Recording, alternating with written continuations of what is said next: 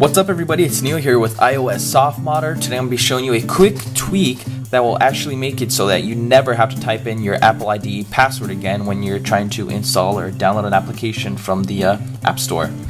So it's a free tweak, just jailbreak your device, and uh, the tweak is called Password Pilot.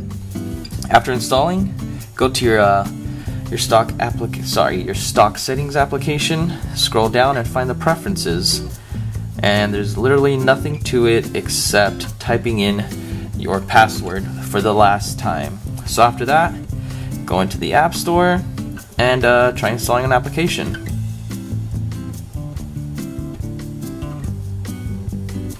There you go. As you can see, it's already uh, it's already auto filled in for me.